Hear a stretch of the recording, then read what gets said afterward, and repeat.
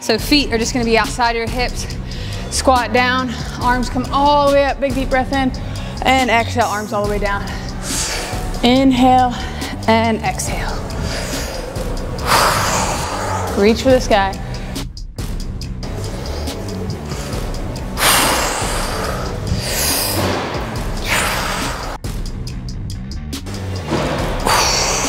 Very good.